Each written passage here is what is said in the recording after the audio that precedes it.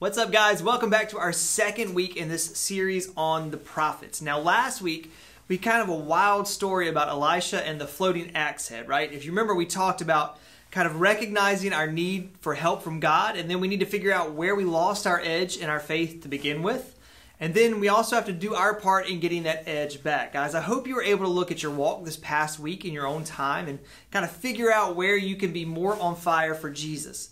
I always want to be upfront with you guys and let you know that um, I just don't give you these challenges and then ignore them throughout the week like I've arrived as the perfect Christian or anything like that. It's just simply not the case. So, in the, the spirit of transparency, I wanted to share with you guys where I've dulled the edge of my walk a little and have made some changes this week, as a matter of fact. I use the Bible app for my daily reading.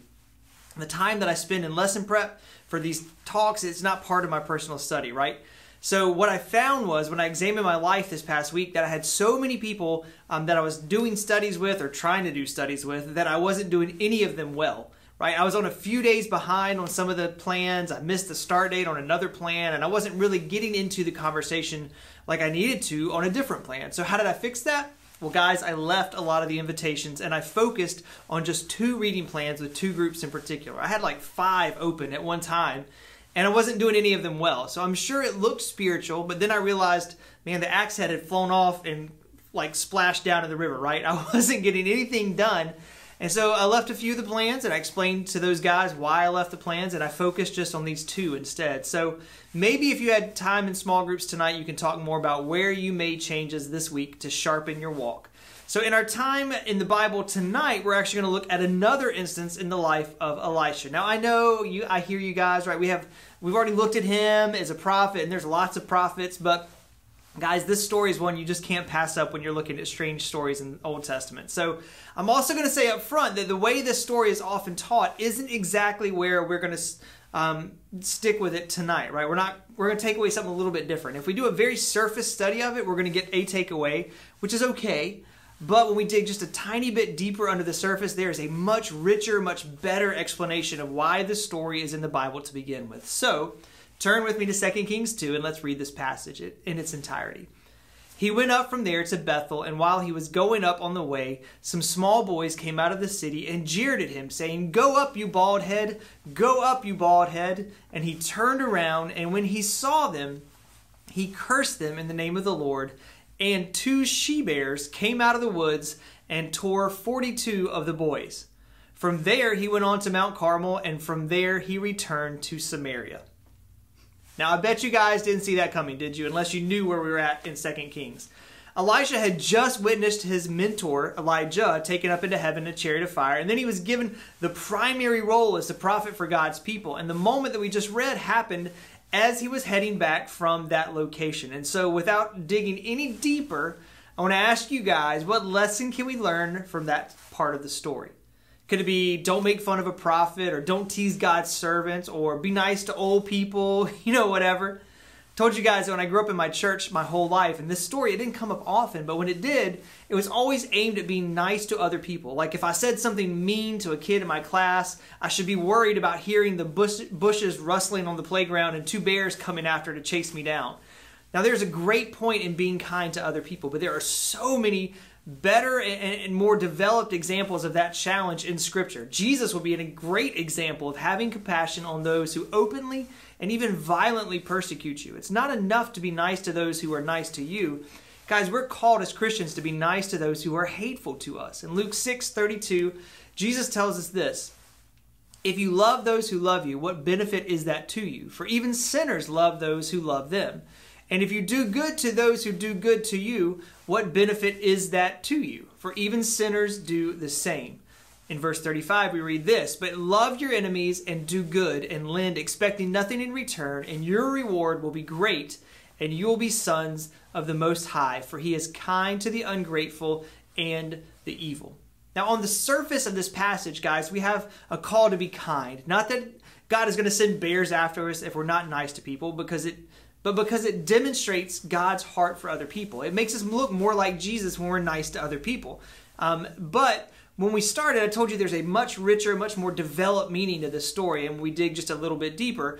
into the passage itself. So let's get past the surface stuff. Let's get into the really good stuff now. The first thing that we need to recognize is where Elisha was going. If you remember the passage that we read at the beginning, it told us that Elisha was going to Bethel. Now we recognize that city from a lot of events in Scripture, but at the time of Elisha, Bethel was a horrible place.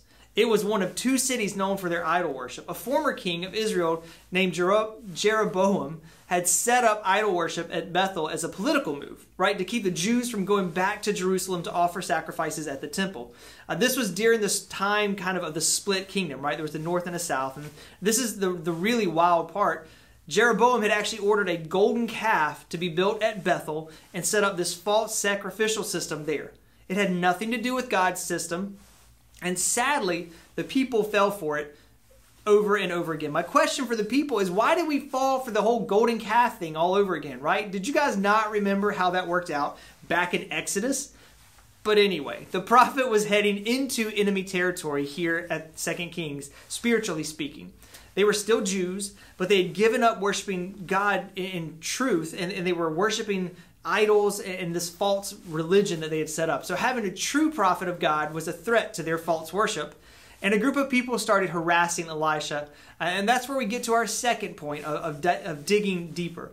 Scripture says it's small boys, which sounds horrible when the bears attack what sounds like a bunch of third graders. But guys, a careful look into that word, it tells a little bit different story. The original Hebrew, man, there are three words that are used to make what we read little children in English. But as most words in the Hebrew language are, there is a range of meanings for a single word.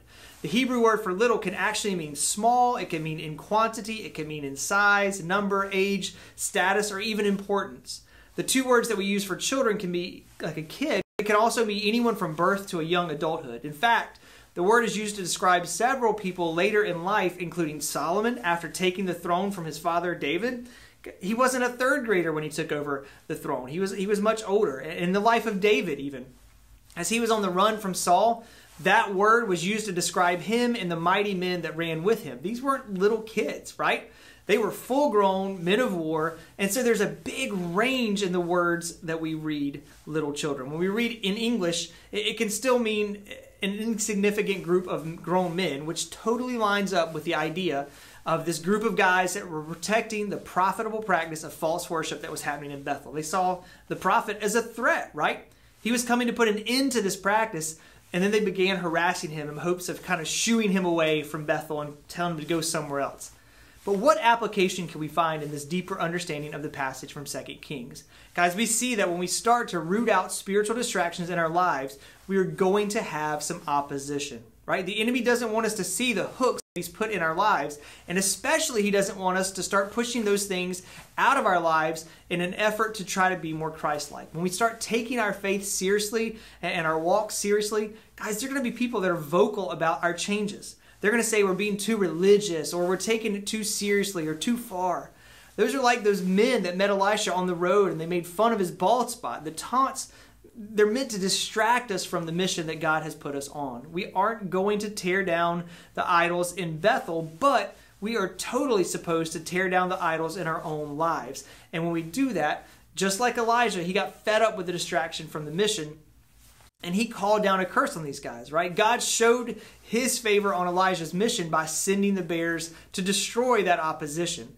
Some commentaries even mention that we never even find out the results of the attack, right? We don't know if any of the men died or they all survived. But one thing that they didn't do was get in the way of God's plan for Elijah. So as we keep learning from the lives of the prophets, guys, this week we're going to keep looking at what mission God has us on. Whatever it is in our lives, and we're going to expect opposition for that. But then we're going to trust in God to move that opposition out of the way for us when we surrender our plans to His plans. It might not be bears or some other zoo animal, but God is totally going to find a way in His perfect plan to remove the obstacles of His children that are on mission for Him. So don't give up when you face opposition because you're pursuing His plan. Instead of being, instead, I want you to be steadfast and trust that He's going to see it through to completion. So, guys, I look forward to some great small group discussions. We will see you all real soon.